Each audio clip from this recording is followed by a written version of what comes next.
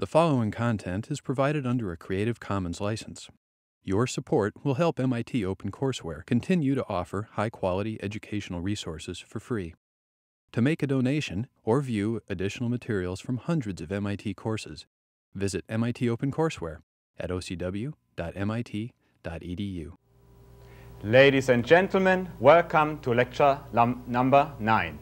In this lecture, I would like to discuss with you the solution of equilibrium equations in static analysis. In the earlier lectures, we derived the equations k, u equals r. And uh, we now have to solve these equations for the displacements stored in the vector u. This is an important phase of the finite element analysis because much of the computational effort goes into the solution of these equations. In the earliest finite element analysis, iterative methods were used uh, among them Gauss-Seidel, the Gauss-Seidel method. Now, the basic disadvantage of using an iterative method is that we do not know how many iterations have to be performed for solution, and thus it is very difficult to estimate the total solution effort to solve the equations ku equals r. Now we use almost exclusively direct methods. All computer programs that are in industry, in, an, in abundant use, are basically using direct methods. And these direct methods are basically variations of Gauss elimination, a method that Gauss, some hundred years ago, proposed uh, for the solution of equations.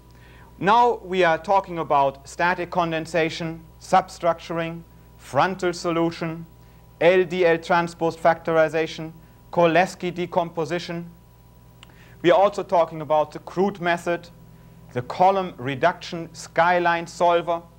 But all of these methods are indeed variations of the basic Gauss elimination procedure.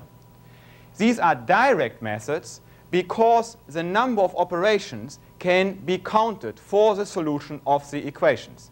In fact, the number of operations for a system with n equations a half bandwidth m is 1 half nm squared, where we, of course, use a half bandwidth m that is constant for the system. If the bandwidth varies, some adjustments have to be made to that variable m. A mean value has to be used. However, the important point is that we actually can count the number of operations to obtain the solution, which was not the case in the iterative method because we did not know how many iterations have to be performed. What I would like to do now in this lecture is to very briefly review with you how the basic Gauss elimination is performed, and then I would like to show to you how this method is indeed the basis of static condensation, substructuring, etc. We will finally also consider the column reduction skyline solver, which is very effectively used, and that is in fact the equation solver that is used in SAP and the ADINA program. Well, I have prepared, uh, as before, some uh, view graphs here. And uh, the first view graph here shows a system of equations. This is the K matrix here. This is the displacement vector. This is the load vector. And uh, I will show you later on a physical system uh, which in fact gives this stiffness matrix K. But let's look at now at this system simply as an example for solving equations. In the basic Gauss elimination procedure, we proceed as follows. We subtract a multiple of this equation here from the second equation and the third equation in order to produce here, to produce here a zero and to produce here a zero. Well, to obtain a zero here, we have to take one-fifth one fifth of this equation, one-fifth of that equation, and subtract it from this equation. One-fifth because then we obtain a 1 here, and that 1 knocks that 1 out to obtain a 0. We have to subtract minus 4 fifths of this equation from the second equation, and we obtain a 0 here too. Well, this process is shown on the next view graph. The result of that process is this set of equations. We now have produced our 0 here, our 0 here. Of course, we had already a 0 here. We will see later on that the matrix in here, the 3 by 3 matrix, bounded by the dashed lines on this side, in fact represents a stiffness matrix. That's important because a stiffness matrix has always positive elements on the diagonals. Otherwise, it is not a stiffness matrix. Not, it does not govern a stable structure. See here we have diagonal elements that are all positive. And if we can show that in the Gauss elimination procedure, we are still always producing new stiffness matrices, here a 3 by 3 matrix, then we directly can conclude that the diagonal, diagonal elements must remain positive. Well, in the Gauss elimination procedure, the same process that we now that we use to obtain from the 4 by 4 a 3 by 3 system is now uh, carried on to obtain from the 3 by 3 system a new 2 by 2 system. This means that we have to subtract a multiple of the third equation from the fourth equation and the fifth equation in order to obtain a 0 here and a 0 here. For example, 5 fourteenths of the third of the second equation, excuse me, is subtracted from the fourth equation to obtain a 0 here. The result of that operation is this one, this matrix here. Now we have a 2 by 2 matrix here a 2 by 2 matrix. Again, positive elements on the diagonal. In fact, this is a 2 by 2 stiffness matrix, as I will be showing to you just now. Finally, we proceed again once more with the same step to produce a 0 here, which means that we have to subtract from this fourth equation uh, minus 20 sevenths divided by 15 sevenths of this equation. And the result then is this set of equations here. Notice that we now have a single element here. And in fact, this is a stiffness matrix, in this case a one by one stiffness matrix, a one, just one element, that governs the behavior of a single spring. The solution of the equations is now completed by solving for u4 from this relation down here, this is a one degree of freedom system. Knowing u4, we can go back to this equation here, substitute u4 in, and the only not unknown variable is u3. We solve, therefore, u3 from this equation. Now we know u4 and u3. We now go to this equation. Knowing u3, u4, the only unknown in this equation here is now u2. We, we can calculate u2. And repeating the process, we can calculate u1. A very simple, straightforward procedure, but extremely powerful. The result of that solution is shown here. Notice u1 is simply obtained by, uh, by this operation here. Of course, here we are, in, we are having uh, the uh, u2 uh, and u3 in that we calculated already. U2 is calculated here. U4 is calculated here. Uh, it might be easier to actually look at it the way we discussed it just now. We call that the back substitution because we are coming from below upwards. And in the back substitution, we have U4 first. We then calculate U3. U4 is known now, remember. We can substitute directly U4 into here, and we get U3. Knowing now U3 and U4, we can get U2 as shown here. And finally, we get U1. Uh, this is the basic Gauss elimination procedure, an extremely powerful process. And I would like to show you now how this procedure relates to the static condensation and relates to the other techniques, and how we then actually use this basic Gauss elimination procedure in an actual finite element program. Well, static condensation is the first topic that I like to talk about. The basic process is here that we are partitioning the total matrix into the following parts, a KAA, KAC, KCA, and KCC part. The CC part goes with UC, uh, the displacements UC, which we want to condense statically out. Notice I'm uh, putting the degrees of freedom that I want to condense out at the bottom of the U vector? Well, by static condensation, we mean that we express UC in terms of UA, which is obtained, this equation here is obtained from the bottom equation here. We then substitute UC in the top equation here, and the result is this equation here. Uh, notice that the result can be remembered quite easily because we have here an AA, KAA, then we have an A here, a C, a CC, CA. Notice that one might say, just for remembering it, that this C knocks out that C, this C knocks out that C, and what we are left with are AAs. And that means an AA here, an AA here, so the dimensions are compatible of the matrices, and the result is, I call it here K bar AA. Of course, the right-hand side is also changed, is also changed, has also changed, because the RC components must have an effect on the equations UA that give us UA. Well, let's look at this process. This is called the static pro uh, condensation process. Let's look at this process for our simple example.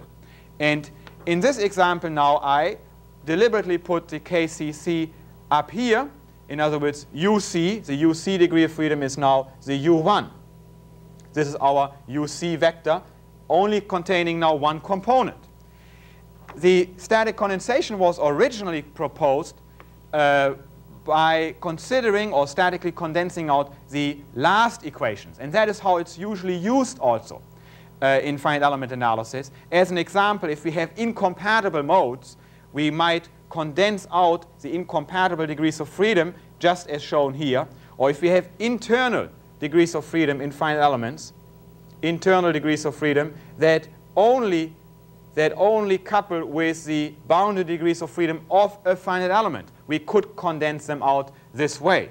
Uh, and then we would have this as the last degree of freedom. These would be the UC degrees of freedom, and we would condense them out just as shown here. However, in order to show you how this static condensation relates to Gauss elimination, I want to look at the example that we looked at earlier already, and uh, this is the partitioning I have used. U1 now being the UC, U2, U to U4 being the UA degrees of freedom. So I want to now statically condense out UC.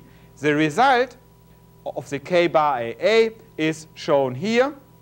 Notice we are taking this part, this part here, this part here goes right there. Uh, this vector here is this vector here. 1 over 5 is the inverse of KCC. And this vector here is that vector there. Well, performing these operations, the result is this one here. That is the result. And if we go back to our earlier uh, Gauss elimination procedure, we in fact notice that this matrix, K by A, is nothing else than the matrix that we derived from the 4 by 4 system when we eliminated the uh, non-zero elements here. In other words, we subtracted in the Gauss elimination from the first, from the second equation and the third equation, a multiple of the first equation. We got these zeros here. The result was this 3 by 3 matrix. And that 3 by 3 matrix is exactly this matrix. So what have we been doing then in the Gauss elimination? We have really statically condensed out the first degree of freedom, the first degree of freedom and we have obtained a stiffness matrix, K bar AA, in that Gauss elimination procedure. We can now also look at the physics that we have been going through. And this is, in my opinion, a very important part also. We start off with this matrix here. Notice the following. This now is the stiffness matrix of this beam for the U1 to the U4 degrees of freedom this stiffness matrix actually uh, has been derived by finite differences. Um, it is a nice example to sh show demonstratively what happens uh, in uh, the Gauss elimination. Of course, we could have also used a finite element system, but I chose here a finite difference matrix, which is still a stiffness matrix. And which I can use very nicely to uh, show to you the basic procedures of the Gauss elimination. So this stiffness matrix governs this system here. Notice the following. The first column, this column here, represents the forces. When I displace this node, if we think of this as a node, by unity and keep all the other degrees of freedom to zero. In other words, if I put this deflected shape onto the beam. Zero displacements right here, but a unit displacement here. That is a unit displacement.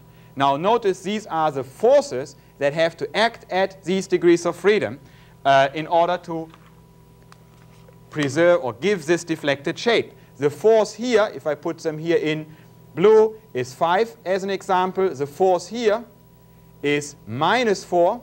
The force here is 1. And the force here is 0. It turns out to be 0. That element or that element, of course, we have a symmetric matrix. Well, this, the, and of course, in the same way we can interpret the other elements in this matrix. One column represents always forces that have to act onto the system in order to uh, obtain unit displacements at one degree of freedom. If we look at the ice column, then it's the ice degree of freedom, and all the other degrees of freedom uh, uh, are set to zero. Well, if we perform our Gauss elimination or static condensation, we have shown that it is the same, on this system, in the first step, we obtain a 3 by 3 matrix. Physically, what we have obtained is the stiffness matrix of this system now. And the following important point is now to be noted. If I look at this column, just in the same way as I looked at the first column of the 4 by 4 system, then this column represents now the forces that are required at these degrees of freedom to impose a unit displacement here at this degree of freedom, this now being unity, with zero displacements here, and the force required here is 14 over 5, 14 fifths. That is the force that I, I have to apply here to get a unit displacement here. At the same time, I have to apply here a force of minus 16 over 5, and I have to apply here a force of 1. So I'm talking again about forces acting onto the system, forces acting onto the system uh, in this matrix here. And these forces are stored in the columns or the rows of the matrix. And in the ice column or row, I have the forces required to impose a unit displacement at the ice degree of freedom, with all the other degrees of freedom being zero. And the important point is that having performed now the Gauss elimination, here I do not have anymore a degree of freedom. The system is free to go down here, is free to go down here. And that's what we mean by static condensation, really. We have taken out a degree of freedom out of, out of the system. Proceeding in the same way, we obtain this 2 by 2 system. Now we only have 2 degrees of freedom. I have condensed out this degree of freedom and that degree of freedom, which were there. The beam is now free to move down here, so the deflected shape corresponding to, to U3, this one here, would be like that with zero displacement here and unit displacement there. The forces required here now at these degrees of freedom are stored in this column here.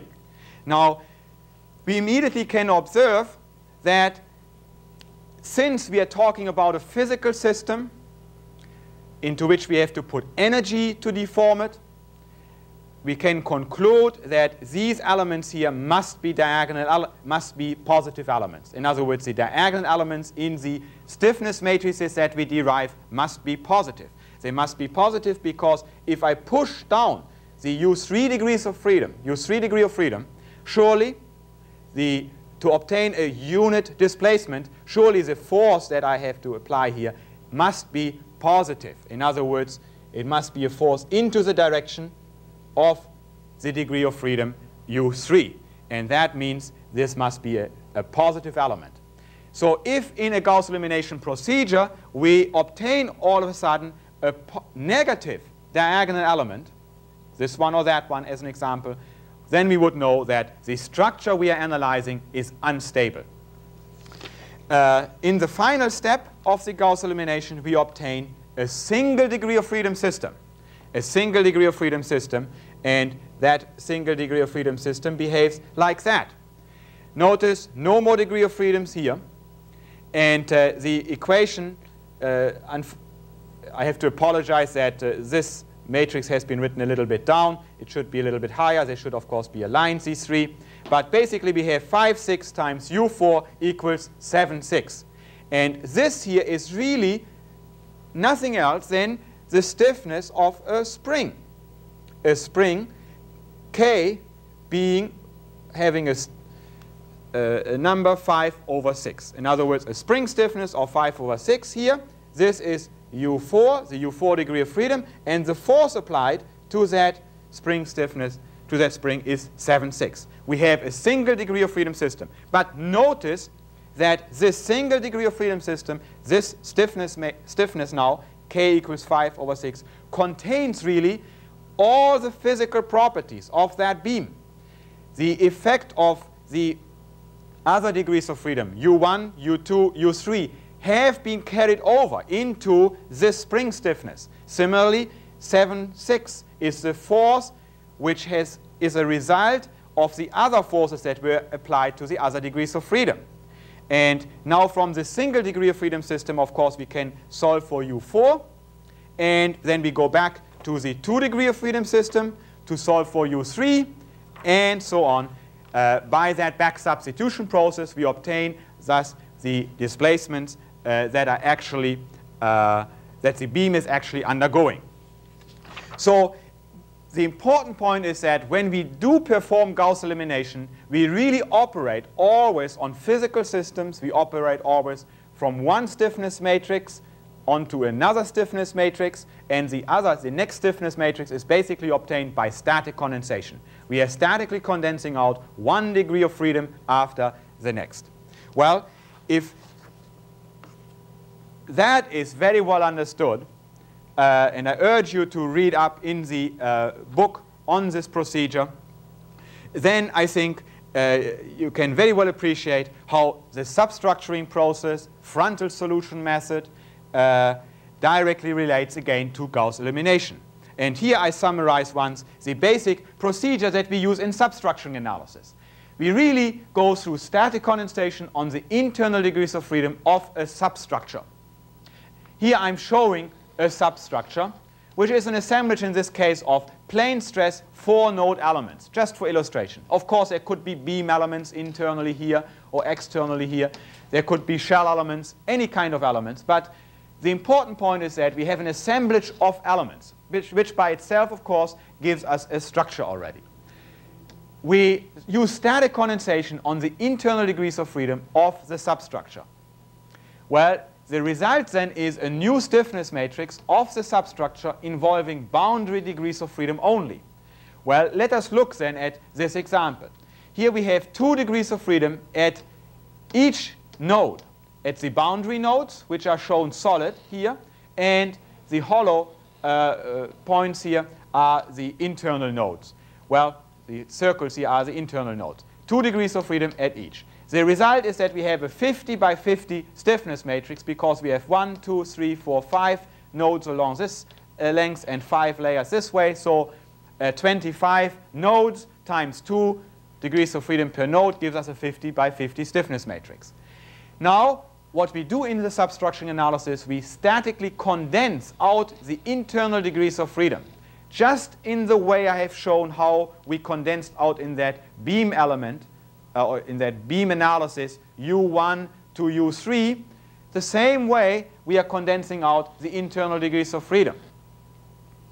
Uh, notice that we do not need to perform Gauss elimination from U1 to U3 or U4 onwards. We could also first deal with U2, then with U4, then with U1, and then solve for U3. Uh, so we have really a lot of flexibility in the Gauss elimination procedure. Uh, the important point is that now we're using it to condense these internal degrees of freedom out. The result then is a stiffness matrix that only involves the boundary degrees of freedom. Now, in this case, we have 1, 2, 3, 4, 5 nodes here. Another 5 is 10. 3 here and 3 here means 16 times 2 means it's going to be a 32 by 32 stiffness matrix.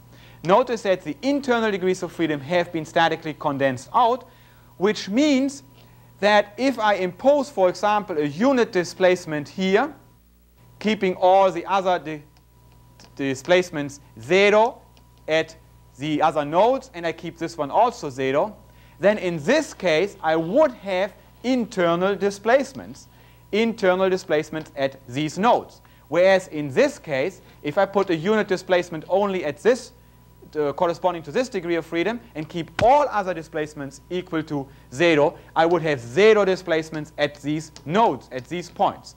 Here, these nodes are free to go wherever they want to go uh, in the finite element solution. And uh, if I put a unit displacement on here, they will be taking on a particular value. These nodal displacements will take on a particular value. What we really have derived, and this is important, is a new stiffness matrix, a new, we might call it element stiffness matrix, a super element or substructure stiffness matrix. These are all equivalent words that, however, only involves boundary degrees of freedom. This is now a new finite element that can be used just as any ordinary finite element in the assemblage process to obtain the stiffness matrix of a complete structure. Let me show to you a simple example. Uh, the, here's a very simple structure, uh, a truss element that has only three degrees of freedom, U1, U2, U3, the stiffness matrix of that truss element is shown here, a 3 by 3 matrix. Here we see U1, U2, U3, and the forces corresponding to these degrees of freedom, of course, are listed here. The objective in this example is to statically condense out this degree of freedom and thus obtain a new element stiffness matrix that only involves the boundary degrees of freedom. Well, the first step that I uh, pursued here was to rearrange the equations so as to have u1 and u3 as the top equations and u2 as the bottom equation. So we want to do static condensation now from the, uh, from the back or from the bottom, the way it's usually done. Uh, and it's usually done that way because it is numerically effective to proceed that way. The result then is shown here. We write down just to identify to use the various parts. This matrix here is this 2 by 2 matrix. This minus 20, minus 28 is that one here. Uh, here we get the KCC inverse, which is this part here. And then, of course, here we have this vector shown here. If we perform these multiplications here, uh, we obtain this stiffness matrix here, a 1 minus 1 minus 1, 1 with a constant uh, in front. Of course, the load vector also has changed. There's a carryover from the 2 degree of freedom into the 1 and 3 degrees of freedom.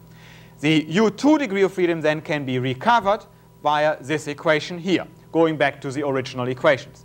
The important point is that we have now obtained the stiffness matrix of the truss element, this stiffness matrix of the truss element involving U1 and U3 only. U2 is not anymore present. It has been statically condensed out. The U2 will adjust itself to a particular value, and that value, of course, is given here, is given right here. But the stiffness matrix that we have now here only corresponds to U1 and U3. Well, that process can then uh, be repeated and we can obtain uh, and we can go through a process that we call multi-level substructuring. In other words, we don't just go once through a substructuring process, but we go repeatedly through substructuring processes. And basically what we are doing is we are solving the system of equations ku equals r of the complete system in a very effective way. Let me show you here an example. Here we have a simple truss assemblage. Uh, we have one, two, three, four elements. The important point is here that the elements are all similar. The area is varying. Uh, 2u1, 4u1, sorry, 2a1, 4a1, 8a1, 16a1. And uh, what I want to do is I want to deal now uh, via substructuring with the equations to obtain a very effective solution. The first step is to look at this element, which involves u1 and u3 and u2. And here you see once more a sketch of that element. That is the element here. Now I condense out u2, and that's what we just did in the previous example. The only degrees of freedom that we are left with then are u1 and u3. Uh, so now we have an element stiffness matrix, this element stiffness matrix, but in terms of U1 and U3 only.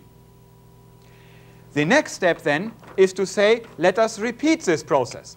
Let us now say, since we have this element stiffness matrix here, in terms of U1 and U3 only, then, and since this element is similar to this element here, there is only a scalar involved because the area is varying uh, as shown from A1 to 2A1 to 4A1 and so on, we can use this stiffness matrix here, this element stiffness matrix, which, however, is already a substructure, the way I've defined it, to assemble the stiffness matrix corresponding to both of these elements.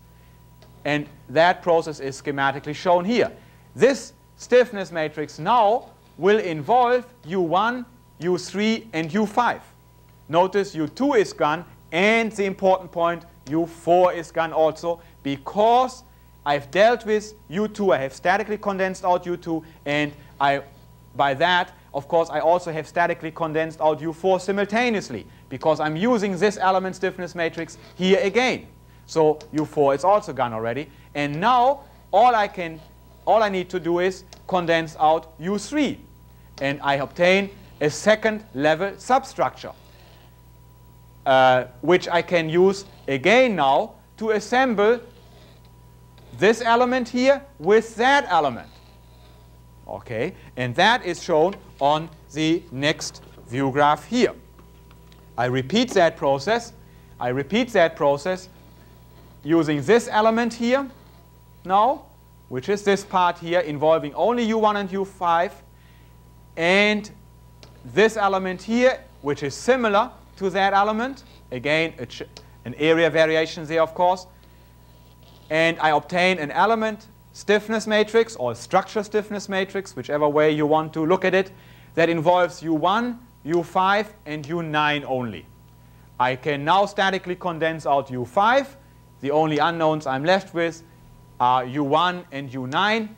And of course, then I can simply solve for uh, U1 and U9, of course, we would have to have also uh, one of the displacements being prescribed for, to actually perform a solution. Otherwise, we have a rigid body mode in the system.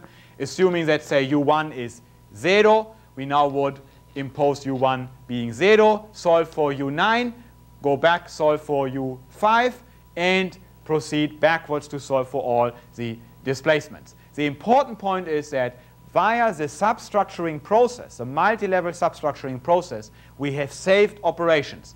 We have saved operations because in this particular case, you see, I have condensed out these degrees of freedom already, and I use this fact uh, in this assemblage process and solution uh, in such a way as that I do not need to condense out these degrees of freedom, that I do not need to deal with these degrees of freedom again, because I've dealt with them in effect already by condensing out these degrees of freedom here. Uh, the, there are also other advantages using substructuring.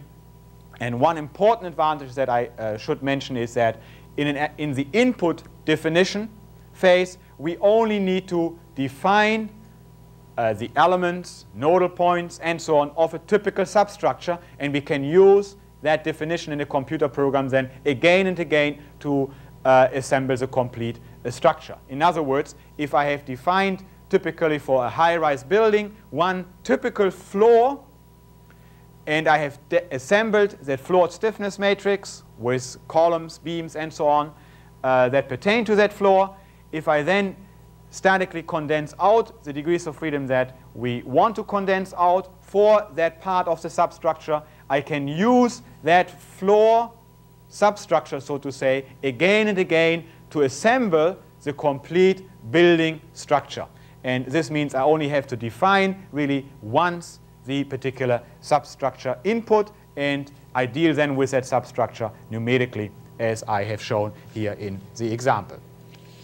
Uh, the next important procedure that I like to discuss very briefly with you is the frontal solution. And the frontal solution really, again, only represents a variation of the basic Gauss elimination procedure. It represents really a static condensation procedure. And that static condensation now, however, is performed in a particular way. And this is really where the advantages of the frontal solution uh, can lie. It's performed uh, via uh, looking at the elements. Uh, let me describe to you the basic process. Here we have, as an example, a two-dimensional plane stress element mesh. Uh, we have four node elements as shown here, element 1, element 2, element 3, element 4, q, q plus 1, and so on. In other words, there's a whole layer of elements this way and that way and so on. This could be for, uh, this mesh could represent, for example, a cantilever plate that acts in plane stress. Uh, in the frontal solution, the solution of the Ku equals R equations is performed by elements. So we are putting in element 1, which couples into node 1, node 2, node M, and node M plus 1. Since the degrees of freedom at node 1 only obtain stiffness from element 1 and no other element, the assemblage of this element into the global structure stiffness matrix gives the only stiffness contribution at node 1. Therefore, we have the final equations at node 1, and we can deal with them already. And that's how the frontal solution proceeds now. It statically condenses out, condenses out these degrees of freedom. Uh, then we move on to the next node of element 1. This node here. However, this node gets stiffness from element 1 and element 2. So in order to obtain the final equations here, we have to add the element 2 stiffness matrix to the element 1 stiffness matrix. And that means we are obtaining now, in this way, then of course we obtain the final equations corresponding to node 2 we now can statically condense out the degrees of freedom at node 2. We then move on to the next node involving element 1 and element 2, which is, element, which is node 3, say. And uh, now we have to, however, assemble the stiffness matrix of element 3 also into the, into the uh, equations that we have assembled already. Uh, having done so, we can now use static condensation to condense out these degrees of freedom. We proceed, therefore, via elements, and we are talking about a wave front, which is this one for node 1. This is the wave front for node 2. This is the wave front. In other words, what we are saying is the wave front really embodies or contains all the elements that we need to have assembled before we can condense out degrees of freedom. To condense out the degrees of freedom at node 2, we have to have a wavefront such as shown here. We have to have assembled element 1 and 2 because element 1 and element 2 give stiffness to node 2. Uh, the important point is that we are proceeding via static condensation from node 1 to node 2 and so on and this means really that we are performing Gauss elimination again. The process is summarized here once more. The frontal solution consists of su successive static condensation of nodal degrees of freedom the solution is performed in the order of the element numbering. That's important. Uh, same number of operations are performed in the frontal solution as in the skyline solution if the element numbering in the wave front solution corresponds to the nodal point numbering in the skyline solution. So if the element numbering in the frontal solution corresponds to the nodal point numbering in the skyline solution, we perform in the skyline solution, which I have not really talked about yet, and that's what I want to get on now, the same number of operations as in the frontal solution. Uh, by corresponding, I mean in this particular case here, we would, we would condense out in the frontal solution the degrees of freedom at node 1, then 2, then 3, then 4, and so on. And of course, in the skyline solution, or in the Gauss elimination procedure, we also proceed via node 1, 2, 3, 4, and so on. So in this particular example, the frontal solution and the skyline solution would give the same number of operations. Well, let me go on to the skyline solution then. And the basis of that solution is the LDL transpose factorization. Basically, again, Gauss elimination. Uh, the basic step here is the following. We are having our stiffness matrix, K here, and now I'm going back to that example which I discussed earlier, the beam example. We're talking about the 4 by 4 stiffness matrix again. We're using this stiffness matrix and we pre-multiply it by an L1 inverse matrix. This matrix here, in fact, we never perform formally this pre-multiplication uh, via a matrix because all what this does is it subtracts a multiple of this first row from the rows below it to obtain a 0 here and a 0 there. That's all what this pre-multiplication does. And the result is this matrix here, which I have shown to you earlier already. The next step is then to operate, to operate on this matrix, to operate on that matrix uh, in the same way. However, before doing so, let me show you here a view graph in which I have written out specifically the L1 inverse and the important point L1. Notice that L1, the inverse of this matrix, is obtained by a trivial operation, namely simply changing the plus here to a minus sign and the minus sign to a plus here. Changing the signs of the off-diagonal elements gives us directly the matrix, the inverse of that matrix.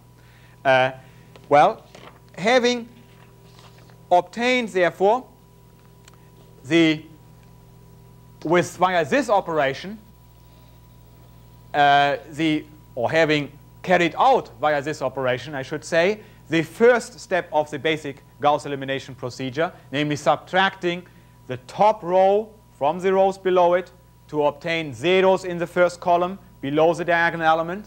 We proceed in the same way and via this procedure here, now of course we have an L2 inverse and so on, we obtain an, what we call an upper triangular matrix, S, an upper triangular matrix. Zeros all below the diagonal and only non-zero elements right here.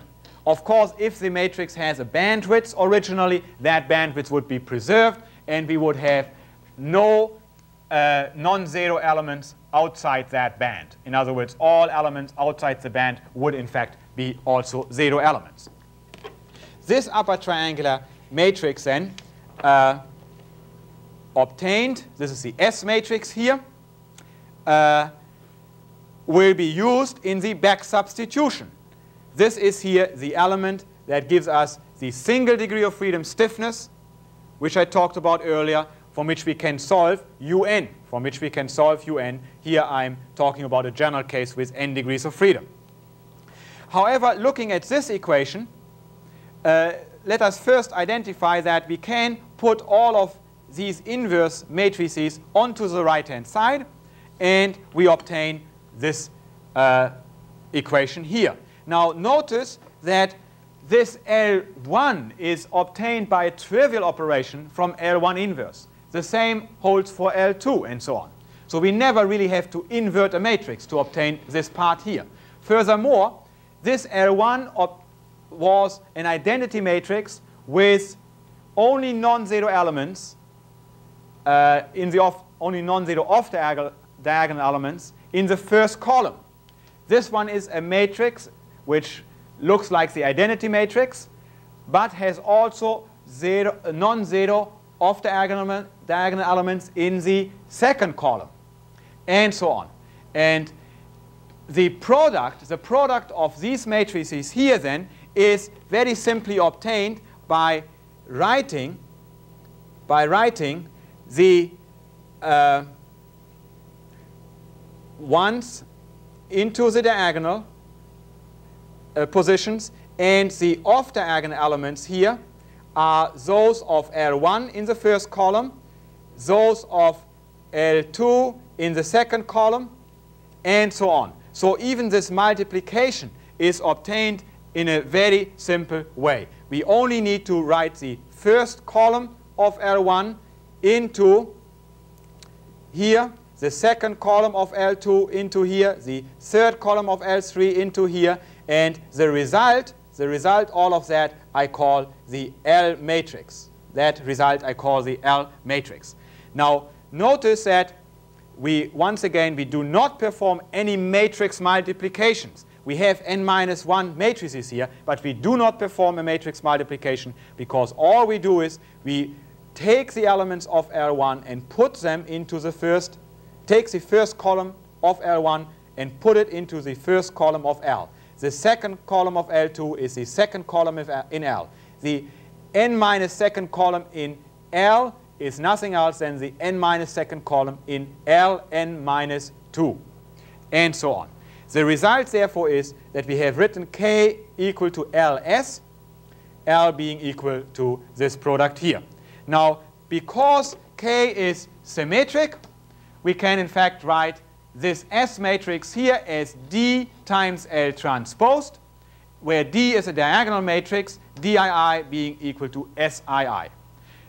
So now we have factorized, factorized the K matrix into LDL transposed.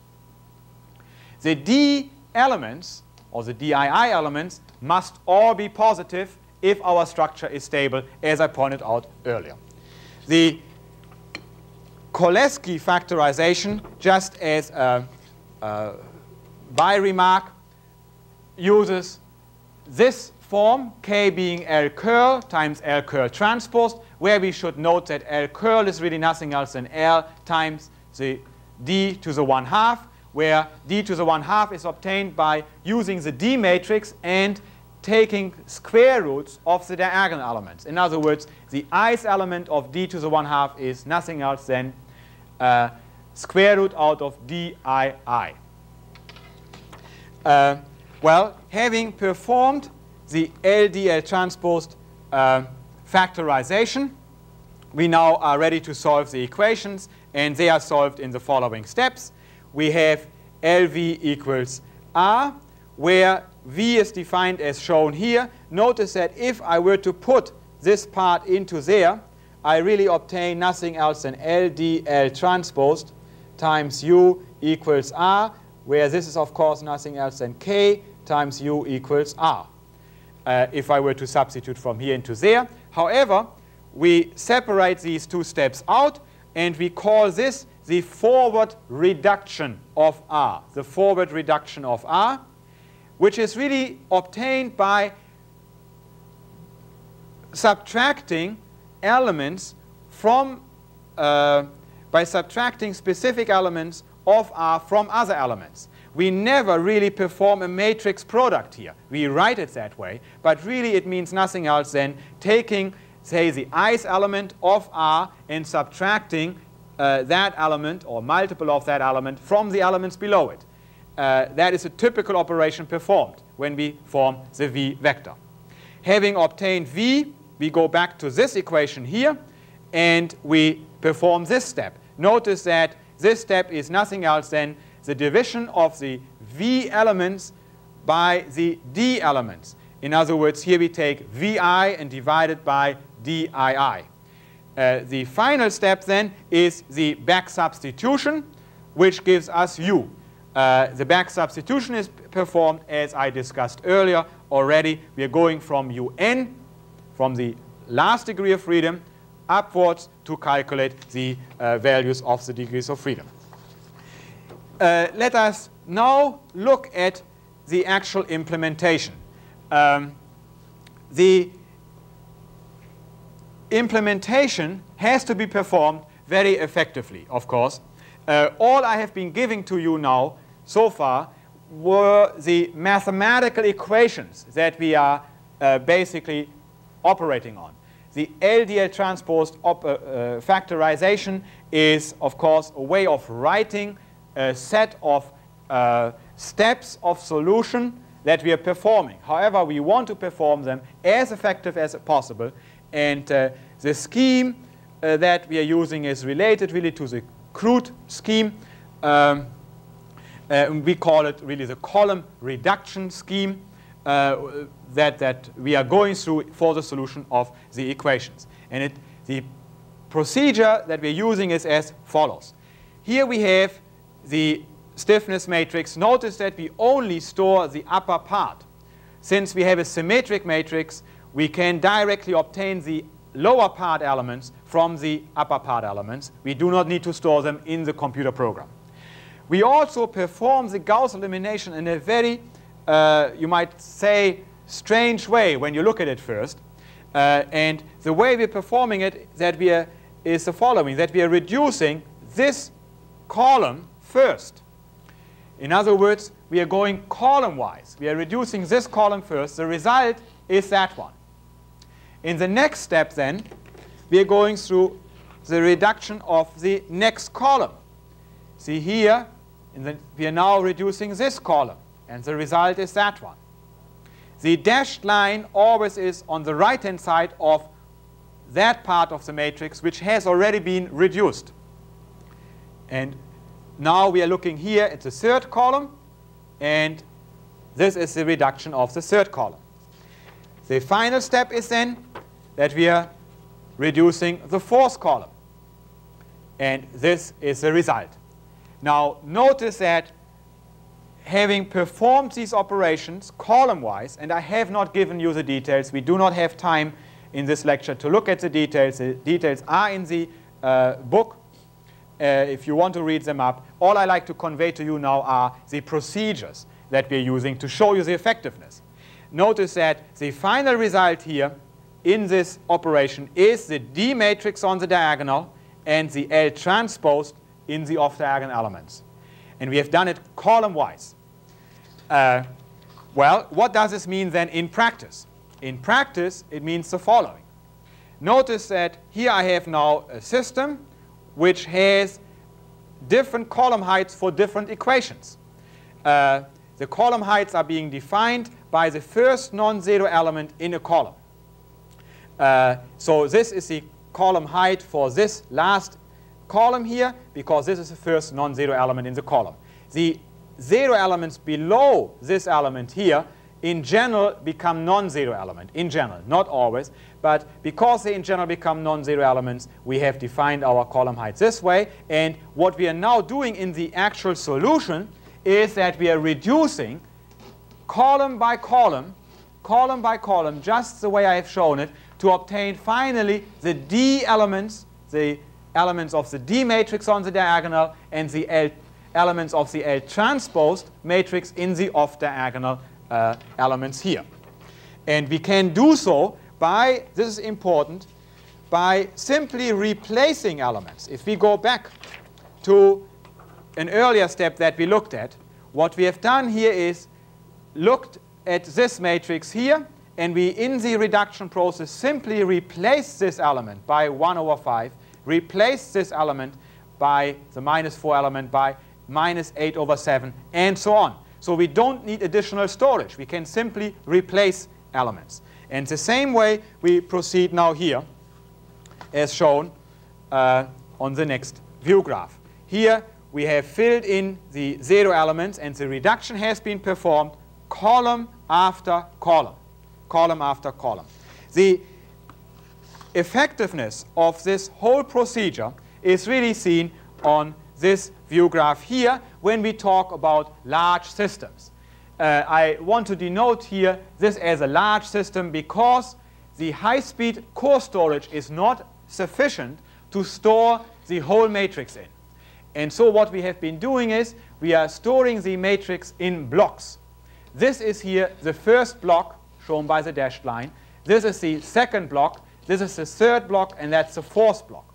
What I'm saying is that uh, we have divided the total stiffness matrix into blocks, and in fact we divided into uh, uh, the blocks in such a way as to be able to take always at least two blocks into core. In other words, in this solution process, we have to be able to take this block into core, that block into core, two blocks. We also would have to be able to take this block into core, that block into core, and so on. Of course, the way this is uh, actually automatized in a computer program is that we say we have so much storage available, say that we have 40,000 storage locations available, then for the solution of the equations or for the storing of the stiffness matrix, then 20,000 uh, locations would be used per block. And what uh, a solution routine simply does, it, it counts these elements and packs uh, or puts this dashed line in such a way that uh, 20,000 elements are in here, 20,000 elements are in here, 20,000 elements are in here, and so on. The solution procedure, uh, or the solution of the equations, is now performed in the following way, using the block structure. Uh, we proceed with the reduction of this column, of that column, of that column, and that column. Now, I should point out the important point, the following important point. When we do reduce this column, when we do reduce this column, we, this column couples into the first equation. So we have to have these elements in core. Of course, since this is one block, and since we can store that block in core anyway, uh, there is no problem. We can reduce this column directly. Uh, these elements that we already have obtained are indeed in core. Now let's go on to the second block. The second block uh, couples into the first block because these elements here couple into these equations. So in order to reduce the second block column by column, we have to have the first block in core. And that's what we do. We take this block into core and um, uh, reduce the second block. Uh, having finished the second block reduction, we go on to the fourth block. And the fourth block now is re reduced by first taking the first block into core because the first block also couples into the fourth block, into the third block.